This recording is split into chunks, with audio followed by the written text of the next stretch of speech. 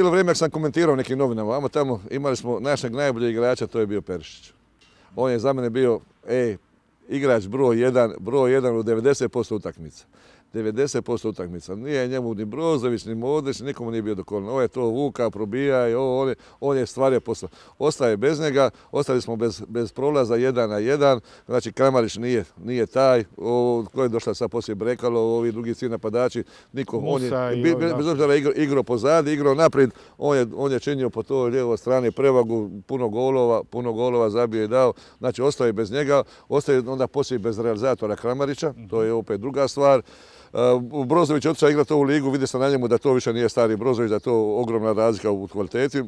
Modrić gore, gore ovaj, igra ne igra, iako, iako on meni svoj posao odradi. Meni se učinio okej.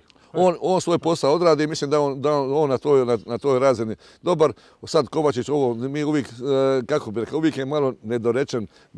Mislim da bi trebao Kovez znači da više golova, više ti asistencija imati za gol, za gol šansi.